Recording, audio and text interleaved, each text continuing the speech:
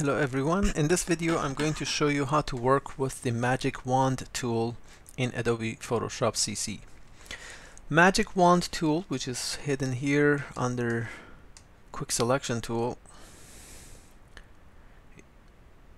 is a selection tool and allows you to select areas um, by detecting the color.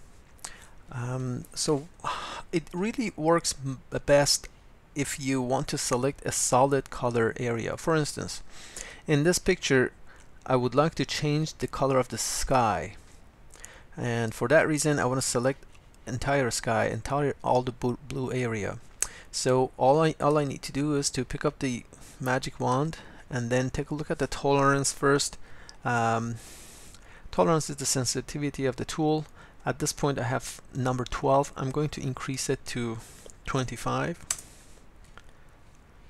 and then I'm going to click on the sky. Just one click and that'll do the job. It selects the entire um, blue area.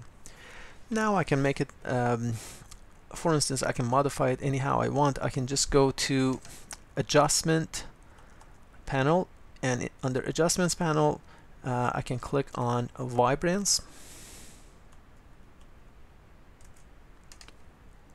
and play with this slider the vibrance slider. I can bring it all the way down to the left.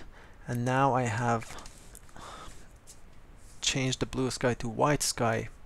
And that's how to use the magic wand tool. Thank you for watching. I hope you enjoyed the video